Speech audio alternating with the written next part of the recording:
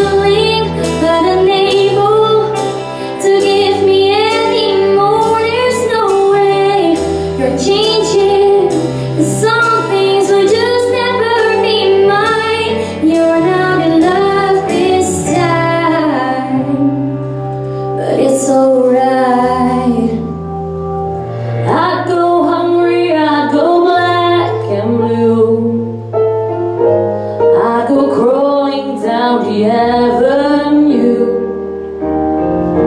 No, there's nothing that I wouldn't do to make you feel my